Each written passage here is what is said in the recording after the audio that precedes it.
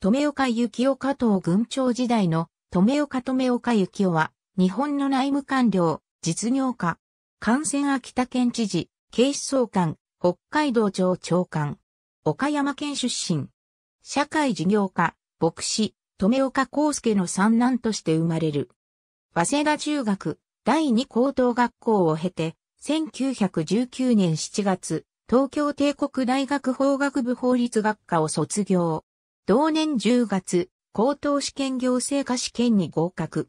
同年12月、兵庫県属となり内務部地方課に配属。以後、兵庫県加東郡長、石川県理事官県警察部工場課長、同県私学官、京都府内務部庶務課長、栃木県書記官、学務部長、香川県書記官、警察部長、千葉県書記官、学務部長、新潟県書記官、警察部長、神奈川書記官、警察部長、警視庁警務部長、北海道庁部長、総務部長などを歴任。1939年1月、秋田県知事に就任。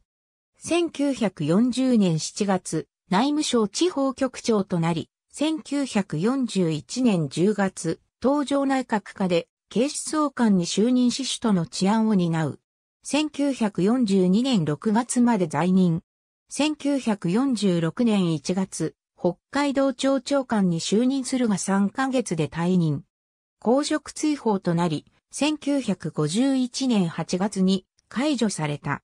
退官後は、京浜幸運会長、統計印刷工業会長などを務めた。1981年5月3日死去。去年87。ありがとうございます。